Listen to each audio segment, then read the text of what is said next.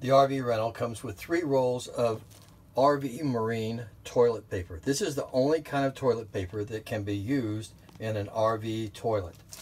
We've dropped in a packet in the toilet that will also make sure that cuts down on the odor and helps clean and deodorizes the holding tank. To flush the toilet, there's a foot handle on the side that you simply push down and it will flush the toilet and fill it back up. We like to put a little extra water in it and you can do that by barely pressing down on the handle there and getting a little bit more water in it just so it cuts out completely any possibility of odors coming back up.